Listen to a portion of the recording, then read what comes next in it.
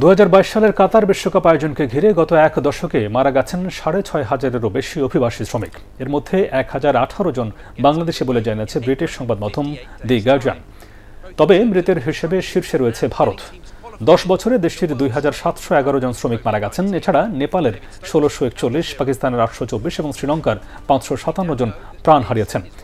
কাতার সরকারের তথ্য অনুযায়ী প্রাপ্ত এই হিসেবেই দেখা গেছে প্রতি সপ্তাহে গড়ে মারা গেছে বারো জন অভিবাসী শ্রমিক যারা দক্ষিণ এশিয়ার এই পাঁচ দেশের নাগরিক ফিফা বিশ্বকাপকে জাঁকজমকপূর্ণ করার এই আয়োজনে এমন প্রাণহানিকে শোকাবহ বলে উল্লেখ করা হয়েছে গার্ডিয়ানের ওই প্রতিবেদনে